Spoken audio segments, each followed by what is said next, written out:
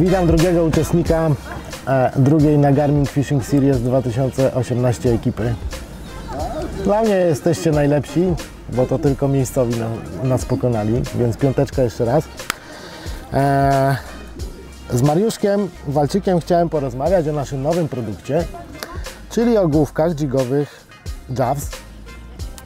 Są to główeczki zrobione na najlepszym haczyku, jaki w tym momencie występuje na naszym rynku. Śmiało to mogę powiedzieć. Będziemy mieli w ofercie tych haków znacznie więcej, całą gamę, ale postanowiliśmy zrobić główki, których na polskim rynku i tak naprawdę na europejskim rynku brakowało.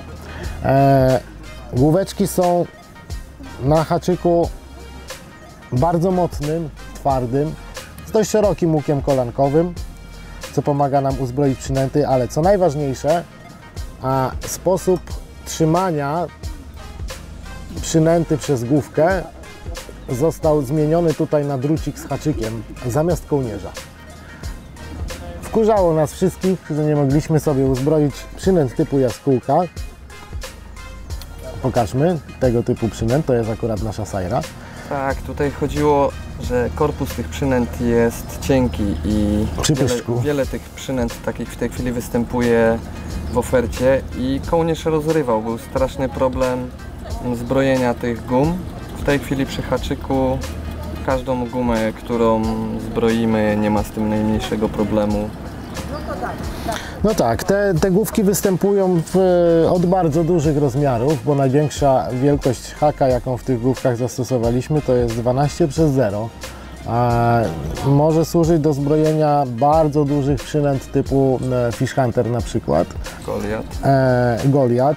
E, przy tych dużych hakach mamy łóżko na dozbrojkę dodatkowo e, na takiej główeczce. Jesteśmy w stanie włożyć lekką, tak się zbroi teraz przynęty szczupakowe, wkładamy lekką główkę z dużym hakiem plus dozbrojkę od brzuszka e, przy e, powiedzmy płetwie odbytowej rybki.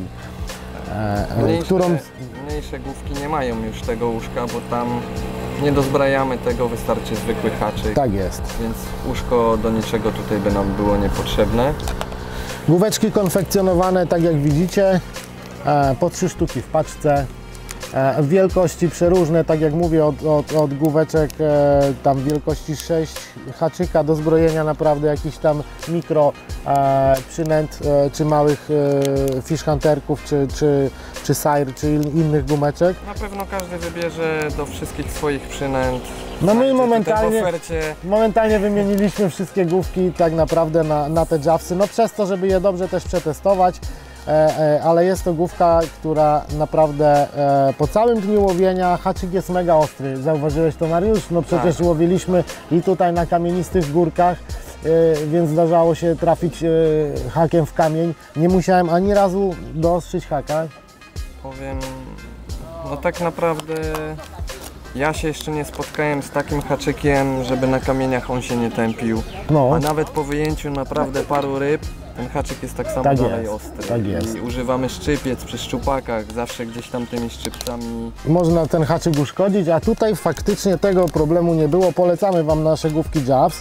E, no, sprawdziły się mega. Uważam, że, że kurczę, produkt naprawdę wart polecenia i musi trafić do Waszych pudełek.